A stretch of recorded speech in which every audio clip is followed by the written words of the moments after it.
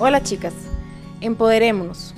Es un momento especial para las mujeres, tenemos tantas oportunidades ahora. Démonos permiso de brillar, dejemos un poco atrás los miedos, las limitaciones que nos autoimponemos, démonos permiso de salir adelante, de innovar. El mundo necesita de esta nuestra energía intuitiva para atraer y crear cosas nuevas, para una visión de más comunidad que es parte natural de nosotras. Démonos chance de hacerlo, aunque sea con susto, aunque sea con miedo, brinquemos, demos ese salto de fe porque veremos que nos salen las alas.